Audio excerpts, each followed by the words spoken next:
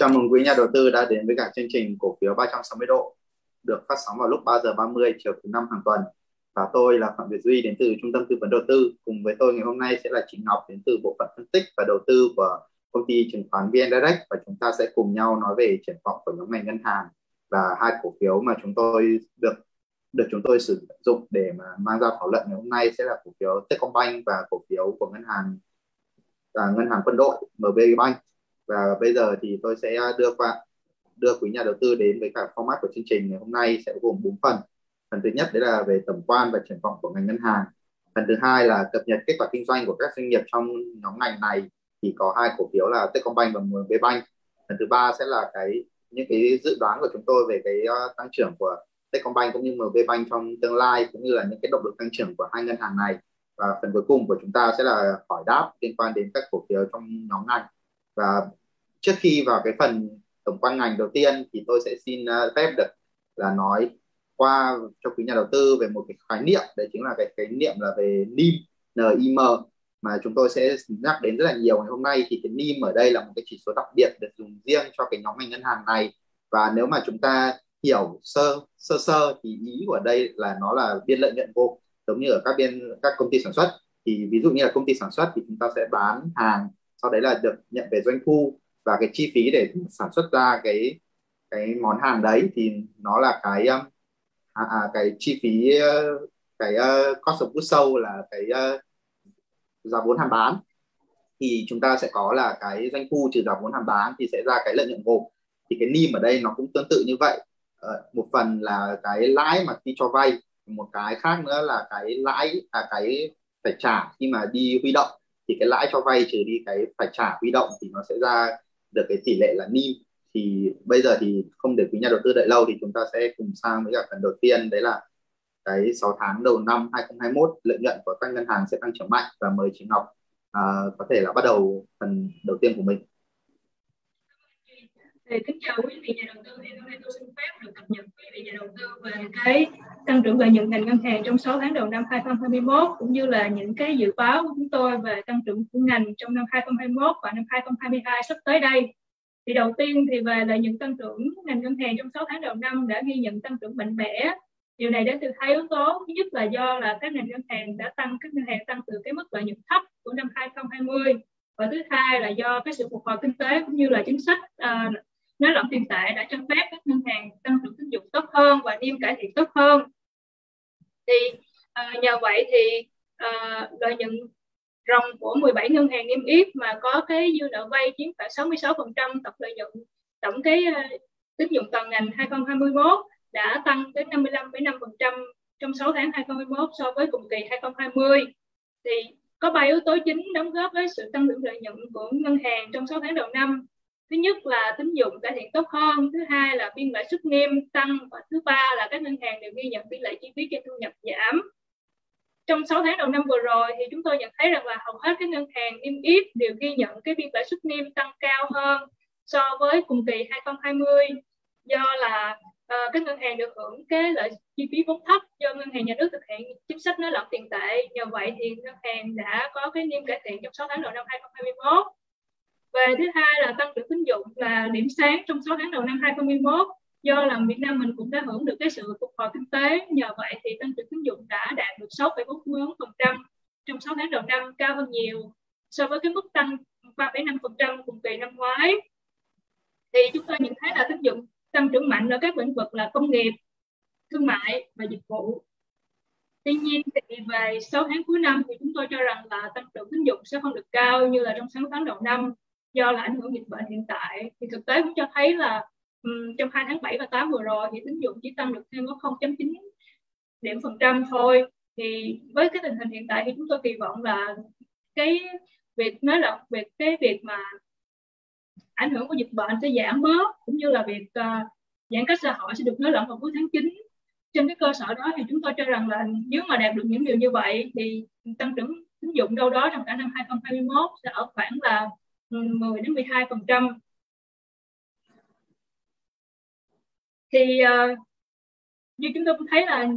vì vậy thì bên cạnh đó thì ừ, bên cạnh tín dụng tăng trưởng tốt hơn trong 6 tháng đầu năm 2021 thì các ngân hàng cũng ghi nhận được cái tỷ lệ chi phí trên thu nhập giảm trong 6 tháng đầu năm 2021 thì các bạn cũng thấy là uh, trong 6 tháng đầu năm 2021 do ảnh hưởng của dịch bệnh thì một số ngân hàng họ đã hoãn lại cái việc mở rộng mạng lưới và một số ngân hàng khác thì họ đã đầu tư vào cái hạ tầng công nghệ và số hóa. Trước đây thì bây giờ họ bắt đầu gặp khá thành quả nhờ vậy thì tỷ lệ chi phí trên thu nhập của các ngân hàng giảm trong 6 tháng vừa rồi. Thì từ ba yếu tố là niêm tín dụng và tỷ lệ CAA được cải thiện để giúp cho lợi nhuận ngân hàng trong 6 tháng đầu năm đạt được mức cao vừa qua. Về chất lượng tài sản thì chúng tôi cũng nhận thấy rằng là do là các ngân hàng đã đạt được mức tăng trưởng lợi nhuận cao trong thời gian vừa qua và họ cũng đã đẩy mạnh trích lập dự phòng để kiểm soát chất lượng tài sản nhờ vậy thì chất lượng tài sản của các ngân hàng được cải thiện và thông qua đó là có hai tỷ số là tỷ lệ nợ xấu của bình quân của 17 ngân hàng niêm yết đã giảm xuống mức 11.49% so với thời điểm đầu năm là 1.54%. Tỷ lệ bao nợ xấu tức là các nguồn dự phòng dồi dào để uh, tài trợ cho cái việc mà xử lý nợ của họ đã tăng lên 123% tại cuối quý 2 so với thời điểm đầu năm là 109%. Thì uh, do là dịch, dịch bệnh kéo dài trong thời gian vừa qua thì ngân hàng nhà nước cũng đã ban hành vào ngày 7 tháng 9 đã ban hành cái thông tư 14 cho phép các ngân hàng thương mại được uh, kéo dài thời hạn cơ cấu thời hạn trả nợ cho khách hàng bị giảm lãi và giữ nguyên nhóm nợ. Thì có hai ý chính trong cái thông tư này. Thì thứ nhất là ngân hàng được cơ cấu nợ đối với dư nợ phát sinh trước cái ngày 1 tháng 8 2021 so với thông tư 03 trước đây là chỉ có ngày 30 tháng 6 năm 2020 thôi và cái yếu tố thứ hai là các ngân hàng thương mại cũng sẽ được cơ cấu nợ mà có dư nợ phát sinh uh, nghĩa vụ trả nợ gốc và lãi trong các khoảng thời gian tới hết 30 tháng 6 2022 nó kéo dài 6 tháng so với cái uh, thông tư trước đây là 31 tháng 12 2021 thì cái thông tư này ra đời có cái hai cái mục đích. Mục đích thứ nhất là nó giúp giảm cho doanh nghiệp áp lực phải trả nợ ngân hàng trong cái khoảng cái thời gian ảnh hưởng dịch bệnh bùng phát như thế này. Và thứ hai là nó giúp cho các ngân hàng giảm được cái áp lực trích lập chi phí dự phòng khi mà nợ xấu có khả năng gia tăng. Thì sau khi mà tổng quan về cái bức tranh lợi nhuận ngân hàng trong nửa đầu năm, chúng tôi cho rằng là với cái tình hình diễn biến dịch bệnh hiện tại và mình vẫn đang áp dụng những cách xã hội thì cái lợi nhuận 6 tháng cuối năm sẽ có tăng trưởng mạnh như 6 tháng đầu năm. Nhưng mà cái bức tranh này thì chúng tôi cũng đã nhận thấy được hết, các nhà đầu tư cũng đều đã thấy được hết. Thì họ bắt đầu sẽ nhìn sang là ờ trong năm 2022 thì ngân hàng nào hay ngành nào sẽ đạt được cái tăng trưởng lợi nhuận cao? Thì chúng tôi cho rằng là ngành ngân hàng là ngành sẽ đạt được lợi nhuận cao nhất hưởng lợi nhất từ cái việc phục hồi nền kinh tế. Và chúng tôi đánh giá là đây là thời điểm tốt nhất để mỹ để uh, quyết cổ của ngành ngân hàng. Có ba lý do mà chúng tôi cho rằng là đây là thời điểm thích hợp. Thứ nhất là về lợi nhuận tăng trưởng lợi nhuận. Thứ hai là về thanh khoản. Và thứ ba là về giá. Thì về tăng trưởng lợi nhuận thì uh, như tất cả các nhà đầu tư đều biết thì ngành ngân hàng là kênh tài trợ chính cho nền kinh tế cho nên khi mà kinh tế hồi phục thì ngân hàng sẽ tài trợ cho các hoạt động sản xuất kinh doanh vì vậy họ sẽ được hưởng lợi lớn nhất. Và họ ờ, sẽ gia tăng sẽ là ngành có cái tốc độ tăng trưởng lợi nhuận cao nhất. Vì vậy họ sẽ là cái lựa chọn ưu tiên đầu tư trong uh, khi bối cảnh mà cái thị trường hồi phục. Thứ hai nữa là cái giá trị vốn hóa của ngành ngân hàng chiếm đến 25 phần trăm. Ừ, còn thị trường mà thanh khoản thị trường lớn hiện nay thì có ngành ngân hàng là một trong những ngành có thể thu hút được cái nguồn tiền này. Và cuối cùng là về giá thì vừa qua thì các nhà đầu tư cũng thấy là giá cổ phiếu ngành ngân hàng đã điều chỉnh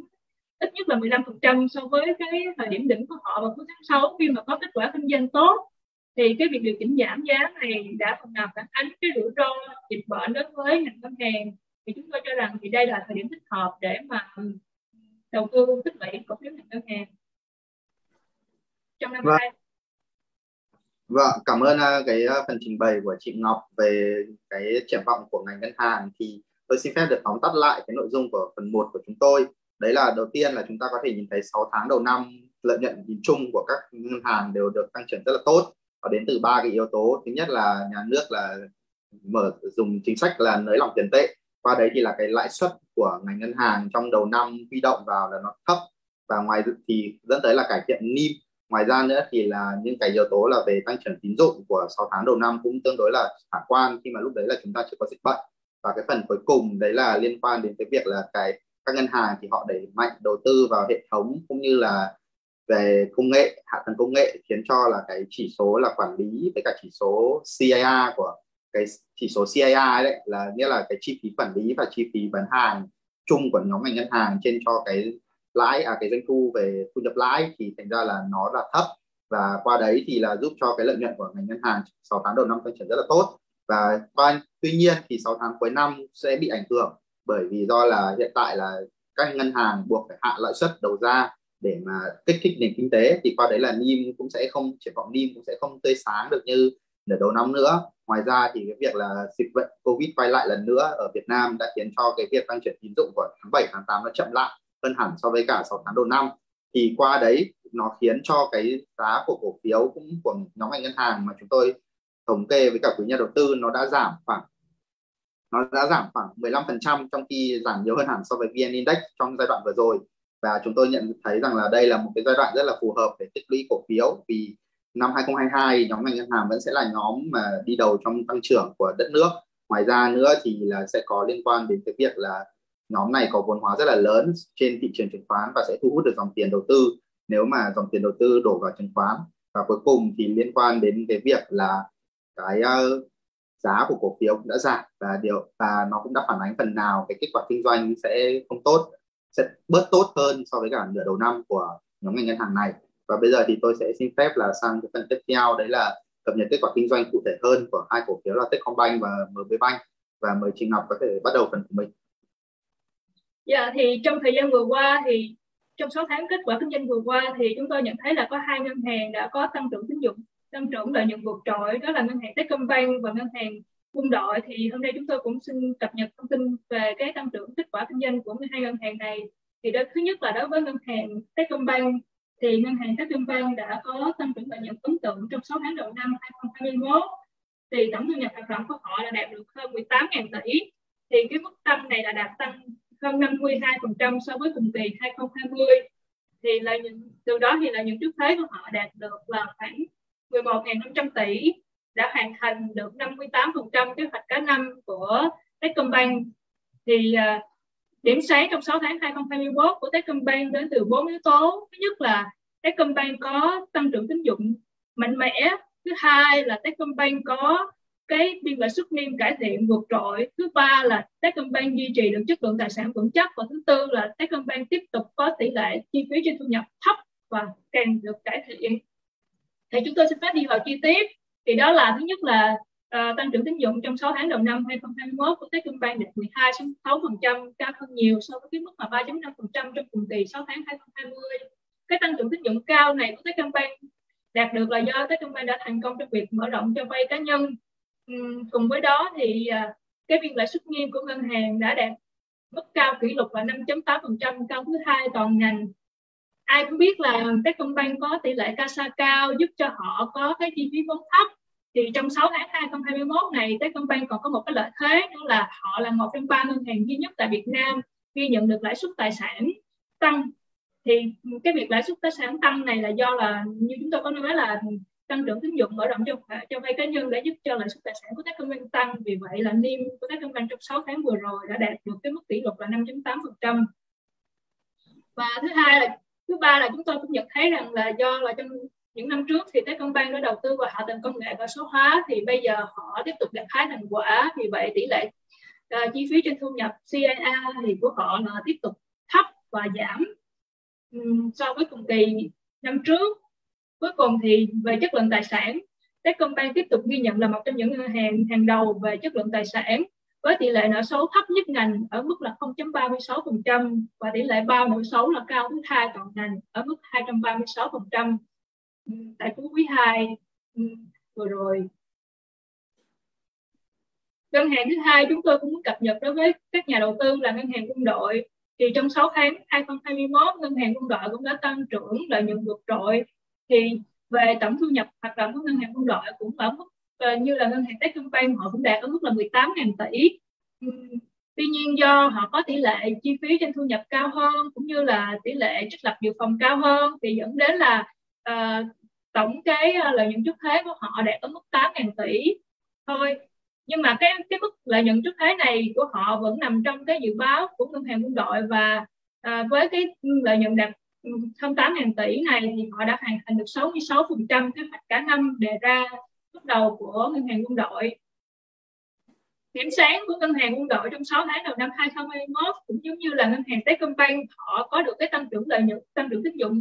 cao và nghiêm được cải thiện. Thì trong 6 tháng đầu năm 2021 tăng trưởng tín dụng của ngân hàng quân đội đạt hơn 11 đạt khoảng 11 phần trăm. Cái mức này là cái mức gần như là chạm vào cái mức mà hạn mức tín dụng mà được ngân hàng nhà nước cho phép ngân hàng quân đội tăng vào thời điểm đó. Thì nếu mà trong khả năng nếu mà lúc đó mà ngân hàng quân đội được cái hạn mức tín dụng cao hơn thì có rất là nhiều khả năng là ngân hàng quân đội cũng có thể tăng được tín dụng tăng được tín dụng cao hơn nữa. Và thứ hai nữa là về biên lãi suất riêng thì ngân hàng quân đội trong 6 tháng vừa rồi cũng đã ghi nhận niêm tăng mạnh mẽ đạt 5.2% trong 6 tháng 2021 và chỉ đứng sau uh, ngân hàng Việt Nam Thịnh Vượng và ngân hàng Techcombank tức là đứng thứ ba vào ngành. Chi phí vốn thấp có tỷ lệ CASA cao là yếu tố chính đóng góp cho cái việc mà uh, ngân hàng quân đội có cái biên lãi suất nghiêm cao trong thời gian vừa qua. Ừ, bên cạnh đó thì ngân hàng quân đội cũng tiếp tục duy trì được cái chất lượng tài sản vững chắc. Họ tiếp tục nằm trong top bốn ngân hàng hàng đầu về chất lượng tài sản tỷ lệ nợ xấu của ngân hàng quân đội vào cuối quý 2 vừa rồi chỉ có 0,8% và tỷ lệ bao nợ xấu thì tăng cao kỷ lục lên đến 236% so với cùng kỳ tại cuối quý 2 rồi. Vâng, và như quý nhà đầu tư đã thấy thì chúng ta nếu chúng ta nhìn chi tiết vào hai cái mã là Techcombank và MB Bank này thì chúng ta đều thấy là cái tốc độ tăng trưởng về lợi nhuận của hai mã đều rất là hấp dẫn, lên đến hơn 54% hoặc là 72% đối với cả Techcombank. Và họ đều hoàn thành vượt 50% cái kế hoạch nửa đầu năm. Qua đấy thì chúng ta cũng sẽ nhìn ra được rằng là cái lợi thế này trong cuối, nửa cuối năm như chúng tôi đã nói là nó sẽ không còn được như trước nữa, bởi vì do là liên quan đến việc là NIM nó sẽ giảm. Ngoài ra nữa thì là tăng trưởng tín dụng cũng đã bị thấp đi do ảnh hưởng của covid. Và chúng ta sẽ cùng sang với cả phần tiếp theo luôn, là để xem xem là liệu thì sau tháng cuối năm 2022 à và 2022 thì Techcombank và MB Bank sẽ có lợi nhuận ra sao bức tranh triển vọng sẽ như thế nào à, mời quý nhà đầu tư sẽ tiếp tục theo dõi cái phần của chúng tôi và mời chị Ngọc có thể bắt đầu với cả Techcombank luôn ạ. Yeah. Thì uh, chúng tôi cho rằng là ngân hàng Techcombank là và ngân hàng quân đội là một trong những ngân hàng hưởng lợi lớn nhất khi mà nền kinh tế hồi phục. Thì đối với ngân hàng Techcombank thì ngân hàng Techcombank thì chúng tôi cũng cho rằng là ngân hàng Techcombank sẽ được hưởng lợi lớn nhất khi mà kinh tế hồi phục dựa vào những cái giá trị nội tại của ngân hàng Techcombank. Thứ nhất là ngân hàng Techcombank có mối quan hệ tương hỗ với những tập đoàn lớn ví dụ như là tập đoàn Vingroup, tập đoàn Masan, thì nhờ cái mối quan hệ tương hỗ này sẽ cho phép cái ngân hàng Techcombank có khả năng mở rộng tín dụng tốt hơn so với những ngân hàng khác. Và đối với, cho vay đối với các những tập đoàn này và những cái chuỗi sinh thái, những cái doanh nghiệp vừa nhỏ của họ. Trong cái môi trường tín dụng thấp hiện nay thì ngân hàng Techcombank là ngân hàng có khả năng mở rộng tăng trưởng tín dụng cao. Thứ hai nữa là ngân Techcombank có cái hệ số K hệ số an toàn vốn K cao nhất ngành ở mức 15% vào cuối cái quý 2 vừa rồi. Với hệ số K cao như vậy thì ngân hàng Techcombank không chỉ đảm bảo thanh khoản mà họ còn có khả năng mở rộng sang khoản cho vay mua nhà. Từ đó họ có thể cải thiện lãi suất tài sản và giúp cải thiện niêm thứ ba yếu tố thứ ba là họ có cái uh, tỷ lệ CASA cao, nhờ đó họ có giúp cho họ có chi phí vốn thấp. Thì từ cái chi phí vốn thấp thì giúp cho Techcombank có nâng cao năng lực cạnh tranh cho vay của Techcombank so với các ngân hàng khác, đồng thời giúp họ cải thiện được cái biên lãi suất nghiêm ừ, bên cạnh đó thì chi phí vốn và tiếp tục được kỳ vọng là cái ưu thế của Techcombank trong năm 2022 2023 và yếu tố cuối cùng là chất lượng tài sản vững chắc của Techcombank thì như chúng ta đều biết là tỷ lệ nợ xấu của Techcombank ở thời điểm vừa rồi là thấp nhất ngành trong khi tỷ lệ ban dự phòng của họ lại cao thứ hai toàn ngành thì điều này cho phép Techcombank giảm áp lực cái việc trích lập chi phí dự phòng trong những quý tiếp theo khi mà nợ xấu có khả năng gia tăng do ảnh hưởng của dịch bệnh. Từ những điều đó giúp đảm bảo cho lợi nhuận Techcombank được vững chắc và tăng trưởng cao hơn chiếm ưu thế hơn so với những ngân hàng khác. Thì chúng tôi tiếp đi tiếp là ngân hàng thứ hai là ngân hàng uh, quân đội thì cũng giống như là ngân hàng Techcombank thì ngân hàng quân đội cũng có những cái ưu thế vượt trội giúp cho họ có khả năng uh, chiếm ưu thế hơn so với các ngân hàng khác về tăng trưởng lợi nhuận khi mà nền kinh tế phục hồi. Thì thứ nhất là chúng ta đều biết là ngân hàng quân đội có cái tiệm khách hàng rất, rất là rộng lớn. Điều này cho phép ngân hàng quân đội có khả năng mở rộng tín dụng khi mà nền kinh tế phục hồi. Thứ hai là ngân hàng quân đội cũng đã bắt đầu mở rộng sang cái việc cho vay cá nhân biểu hiện qua là họ đã bắt đầu là xây dựng cái hội sở ở miền Nam để tiếp cận những cái nguồn khách hàng cá nhân mới cũng như là họ bắt đầu ký kết những cái hoạt động với cái những cái nhà đầu tư chủ đầu tư bất động sản ví dụ như là Novaland để tài trợ cho khách hàng vay mua nhà của những cái chủ đầu tư này từ đó giúp gia tăng lợi suất tài sản của ngân hàng quân đội. Thì bên cạnh đó thì cái tỷ lệ CASA cao của ngân hàng quân đội cũng tiếp tục là một cái yếu tố uh, lợi thế cho ngân hàng quân đội vì nó giúp cho ngân hàng quân đội có cái chi phí vốn thấp hơn. Từ đó thì họ có khả năng cạnh tranh cao hơn so với ngân hàng khác khi mà cho vay và giúp cho hệ số niêm của họ được tiếp tục gia tăng và ở mức cao so với các ngân hàng khác. Thì từ những yếu tố này giúp cho là những ngân hàng quân đội sẽ chiếm ưu thế hơn tăng trưởng cao hơn so với những ngân hàng khác khi mà nền kinh tế hồi phục, hoạt động sản xuất kinh doanh quay trở lại bình thường đồng thời thì chúng tôi cũng nhận thấy là chất lượng tài sản của ngân hàng quân đội tiếp tục được duy trì ổn định là một cái lợi thế ừ, đáng kể gia tăng cách biệt của ngân hàng quân đội đối với những ngân hàng khác. Vâng, và với những cái phần uh, trình bày cũng như là những cái động lực tăng trưởng của chị Ngọc mà đã nêu ra với cả nhóm với cả hai cổ phiếu Techcombank và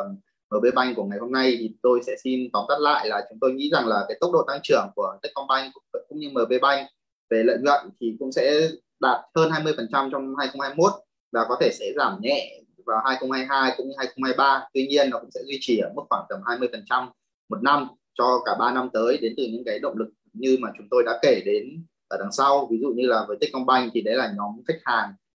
họ có mối quan hệ chặt chẽ với nhóm khách hàng lớn. Ngoài ra nữa thì là họ có cái hệ số CASA giúp cho hệ số CASA cao nhất ngành MB Bank lẫn Techcombank đều có hệ số CASA cao nhất ngành khiến cho họ có cái chi phí huy động là nó thấp so với cả trung bình ngành. Ngoài ra nữa thì là liên quan đến cả cái việc là cái CAR của họ là vẫn đang ở mức thấp nhờ cái việc là đầu tư nhiều vào cái hạ tầng công nghệ. Và và qua đấy thì chúng ta sẽ có cái bức tranh toàn cảnh của Techcombank cũng như MB Bank thì sau đây thì tôi sẽ xin phép là sang cái phần là quảng cáo 5 phút cho các chương trình của VN Direct trong thời gian tới. Thì chương trình của VN Direct của chúng tôi sẽ bao gồm bốn chương trình chương trình thứ nhất, đấy là la bàn đầu tư được phát sóng vào lúc 3 giờ chiều thứ hai hàng tuần. Là chuyên về cập nhật các tin vĩ mô và cập nhật các kênh tài sản. Chương trình thứ hai sẽ là tọa đàm đầu tư và chương trình dành riêng cho khách hàng của VN Direct.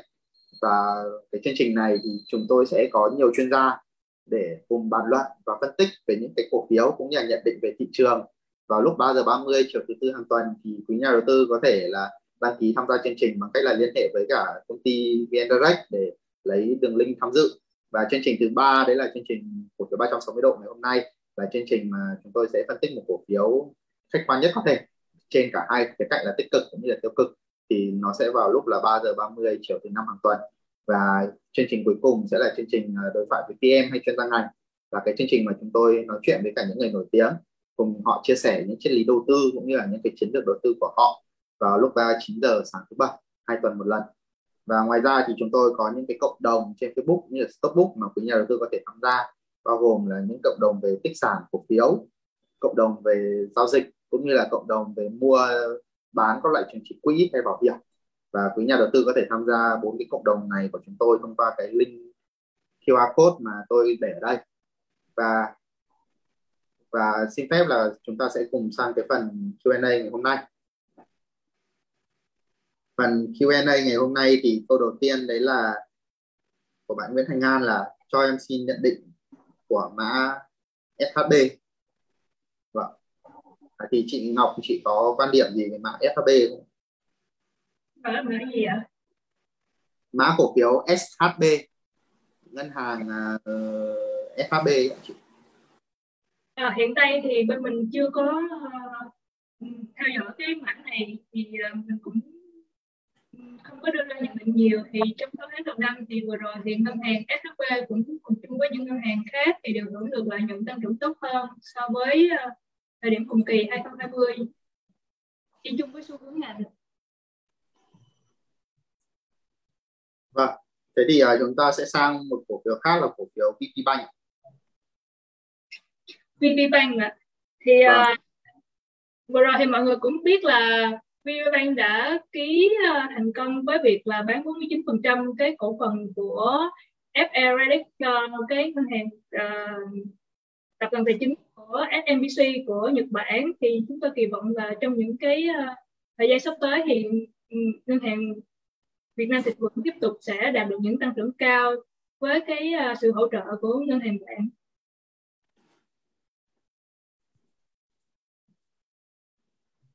Vâng, à, cái mã tiếp theo là mã STB.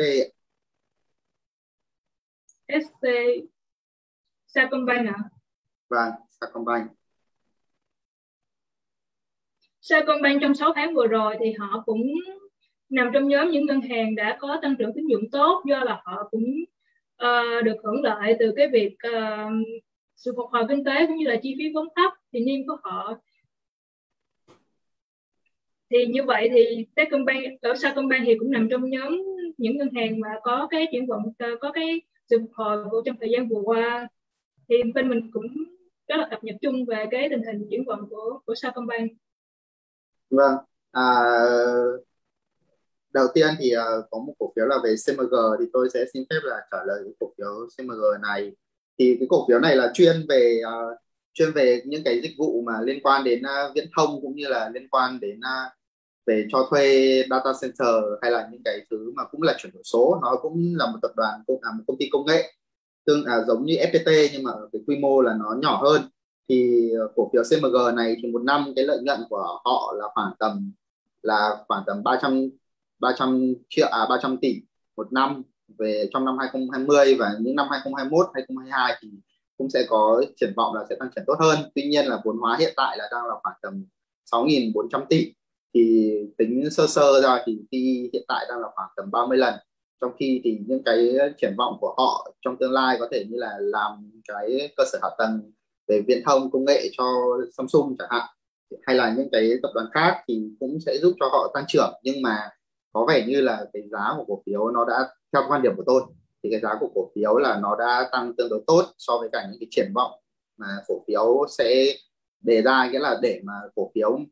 giao dịch ở mức hợp lý coi như là những cái công ty công nghệ đi là giao dịch ở mức hợp lý. Ví dụ như FPT hiện tại cũng chỉ khoảng tầm 20 lần thì nghĩa là cần thì cái lợi nhuận của doanh nghiệp cần phải tăng lên 50% cho năm sau và sau đấy là tăng thêm nữa trong năm tăng trung bình 20% cho những năm tiếp theo. Thì cái giá 62,5 này mới là hợp lý được cho nên thành ra là với cổ phiếu CMG thì tôi, theo lời, theo quan điểm của tôi thì quý nhà đầu tư nên theo dõi thêm và chờ thêm có những cái ờ, kết quả kinh doanh của năm 2022 trước khi đưa ra quyết định là có thể là đầu tư thêm hay là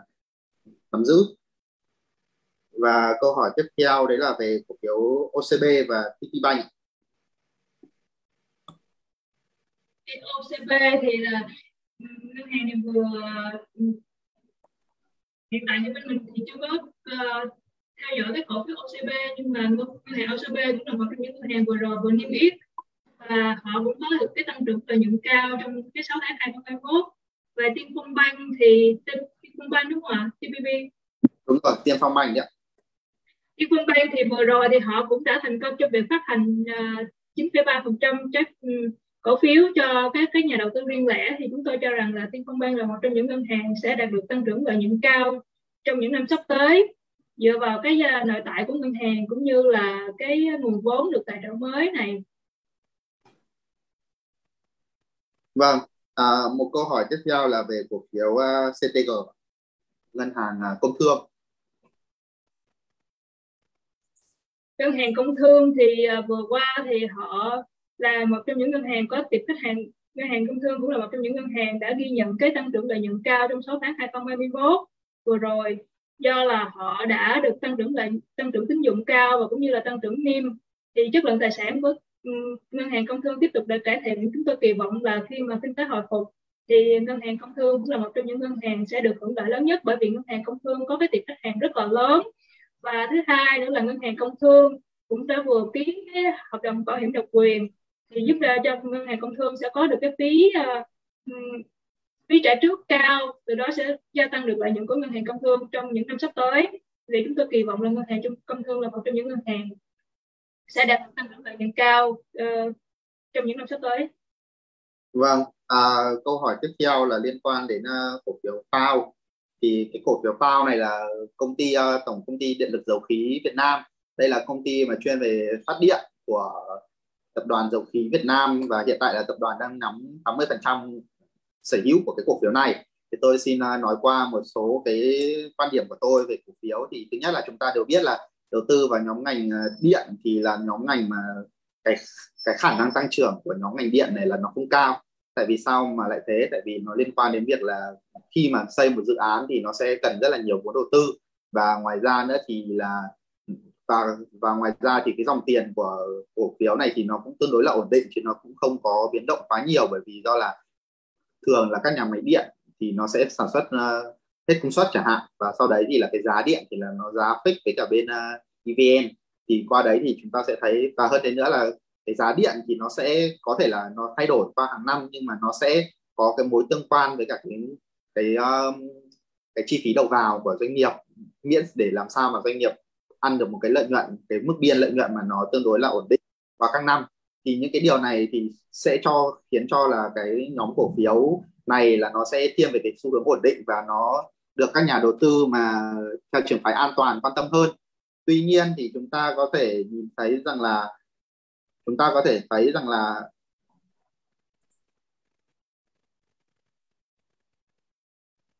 à, vâng tuy nhiên thì chúng ta có thể thấy rằng là cái cổ cho nên khi mà một cổ phiếu mà nó có xu hướng ổn định như vậy thì sẽ, thì khi mà đầu tư thì cái lợi nhuận cao nhất của mình nó sẽ đến từ cổ tức. Nhưng mà cái cổ phiếu bao này thì cổ tức nó lại hơi thấp. Cổ tức thấp là bởi vì do là liên quan đến việc là công ty này là công ty là,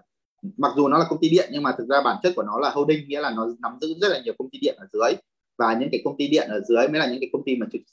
trực tiếp sản xuất ra điện. Thì cái việc mà đầu tư quá là nhiều công ty cũng như là vốn nhà nước cao như vậy thì nó có phần nào đấy ảnh hưởng đến cái uh, quản trị doanh nghiệp. Thì chúng ta có thể thấy là dòng tiền của cổ phiếu này nó không quá mạnh cũng như là cái lợi nhuận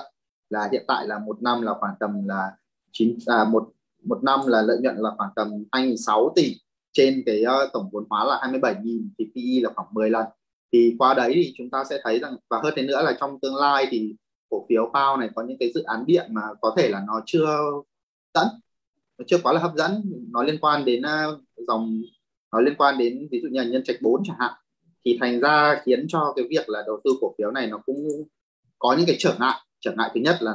liên quan là dòng tiền là nó thấp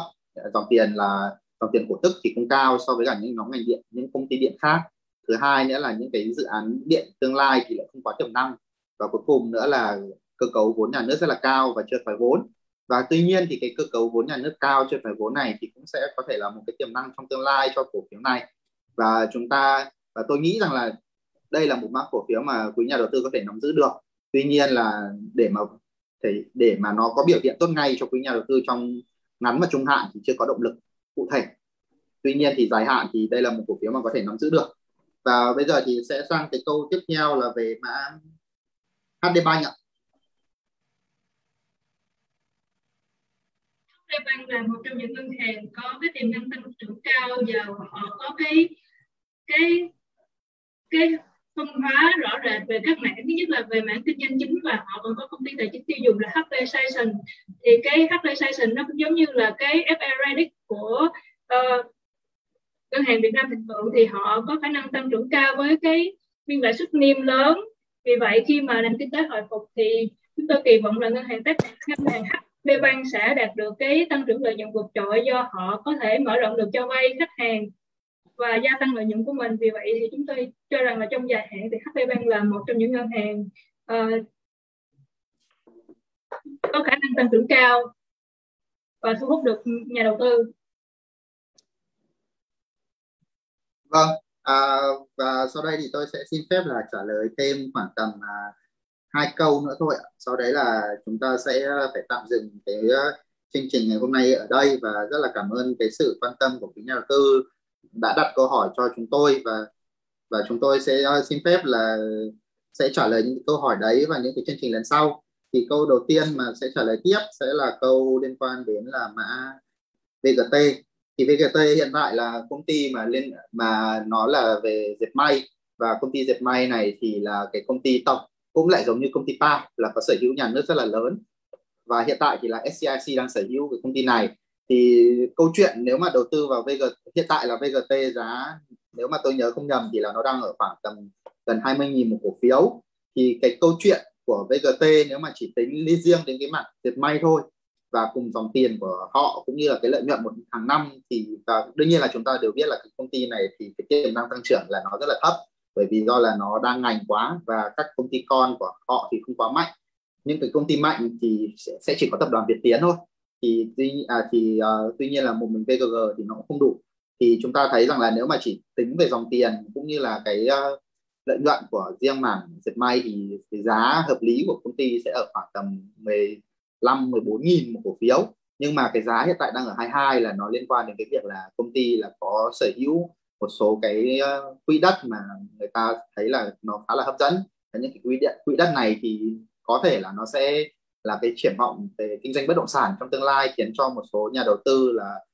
khi mà nếu mà VGT thoái vốn thì sẽ quan tâm. Nhưng mà ừ, nói đi thì cũng phải nói lại thì nó sẽ có một cái rủi ro, đấy là liên quan đến việc là những cái quỹ đất của công ty này thì không phải là tất cả đều đã chuyển đổi sang là sử dụng là bất động sản. Và chúng ta đều biết là cái việc là cấp giấy phép về kinh doanh bất động sản cho nhà ở. Hiện tại là đang tương đối khó khăn và nó sẽ vẫn còn khó khăn đối với cả những cái khu vực trong thành phố Hà Nội cũng như là Hồ Chí Minh hay là những cái khu vực mà lân cận đấy. Thì đấy là nó cũng là những cái lý do khiến cho cái việc là cổ phiếu VGT này nó sẽ khó có thể mà chuyển đổi được cái mục đích sử dụng đất sớm. Và đây là cái những cái thứ mà tôi nghĩ rằng là quý nhà đầu tư cần phải quan tâm. Và qua đấy thì là mặc dù là mã VGT cũng sẽ có rất là nhiều triển vọng trong tương lai, nhưng mà cũng là một mã mà đang có một số rủi ro mà mình cũng nên là cẩn thận với cả cổ phiếu đấy. Rủi ro thứ nhất là liên quan đến việc là chưa chắc là đã phải vốn trong năm 2022 rủi ro thứ hai liên quan đến việc là kỳ vọng vào mảng bất động sản, nhưng mà lại có những cái quỹ đất mà chưa có chuyển đổi mục đích sử dụng và sẽ rất khó để có thể chuyển đổi sớm. Và đấy là toàn bộ cái thông tin của chúng tôi ngày hôm nay đến quý nhà đầu tư và xin cảm ơn quý nhà đầu tư đã quan tâm và theo dõi chương trình. Chúng tôi sẽ hẹn gặp lại mọi người vào 3 giờ 30 chiều thứ năm tuần sau. Xin cảm ơn và hẹn gặp lại trong chương trình tuần sau ạ.